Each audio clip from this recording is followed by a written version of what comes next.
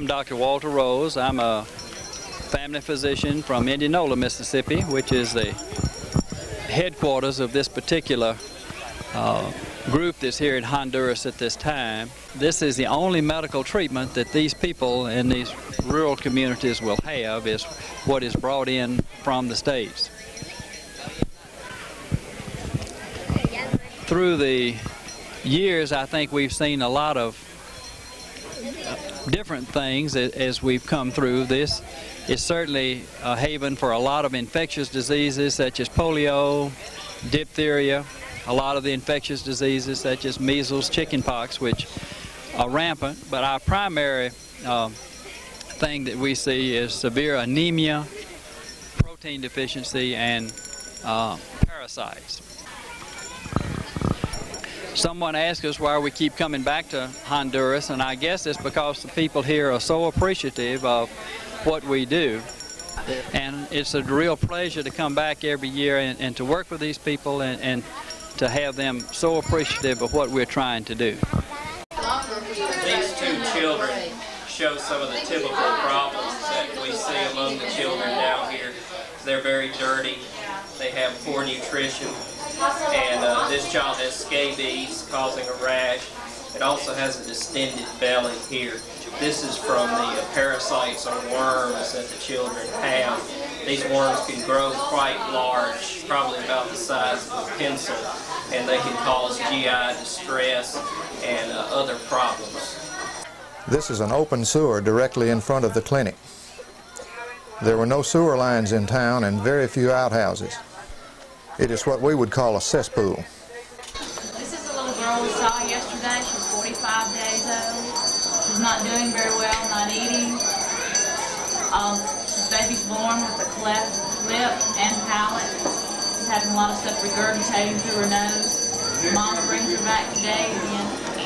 What we plan on doing is giving her some vitamins and some fluid. See if we can rehydrate her. Overall, a very grim prognosis.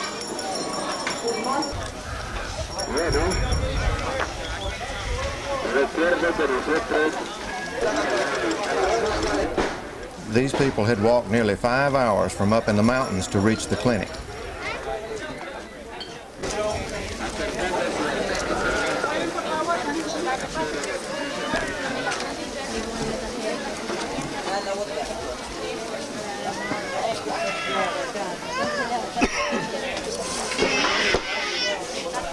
This is intensive care.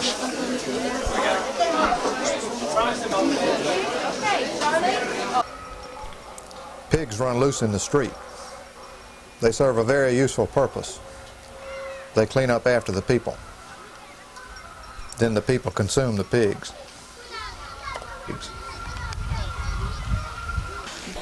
This is a little girl who has a cleft palate and lip. It's been present since birth. Um, she says that she's able to eat well.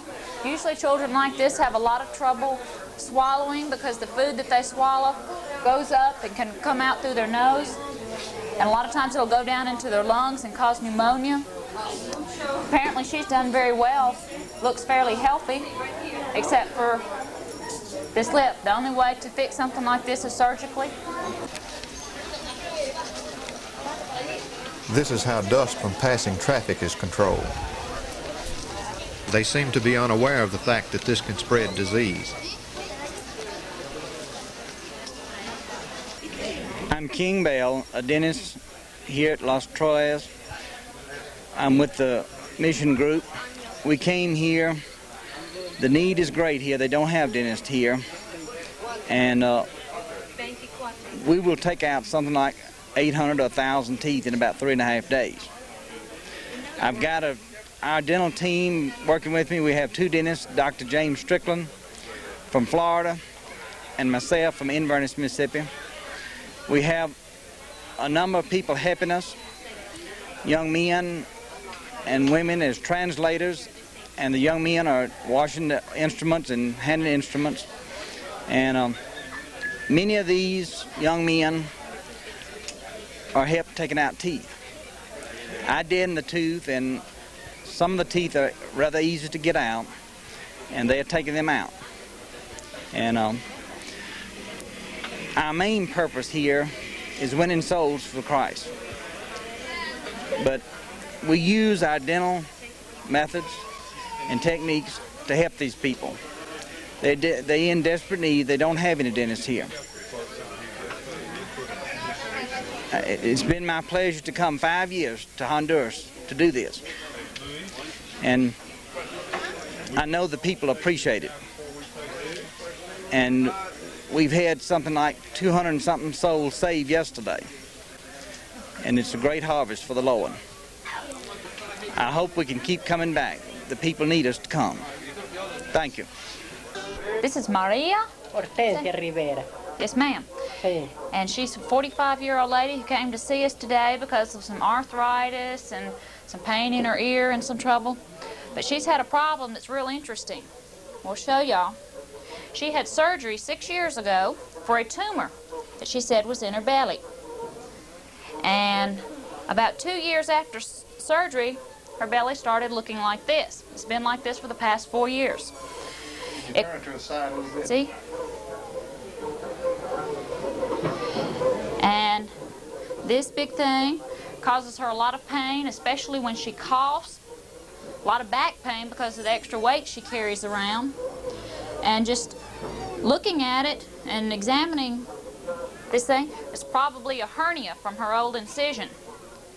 And the only way to treat something like this is surgically, to go in and close it. Interestingly, she didn't even come to us for this problem. A prognosis for a hernia without treatment is that something like this will not go away without surgery simply because these are the abdominal intestines that are protruding here. And to fix it, one would have to go in and close the muscles that keep all the intestines inside. If you ever make a trip to Honduras, and after you endure that bus ride uh, out from the capital city on roads that are somewhat comparable to log wagon roads back in America, uh, you see that it, it is worth it uh, to see these children that are eager to have anything shared with them. Uh, all of them that accept Christ are given a New Testament, like the little boy standing here in the red that I know was witnessed to. And he was saved last night. And of course, Bibles are dispensed uh, to as many families, for every family. Most of the women was four, five. We have seen some uh, come through with eight or nine children. I think Mickey Aldi said it best. Uh, I'm here because of the Lord laid a burden on my heart to serve. He said, if you do it to the least of these, my brethren, you did it to me also. So I'm here just to, to do whatever I can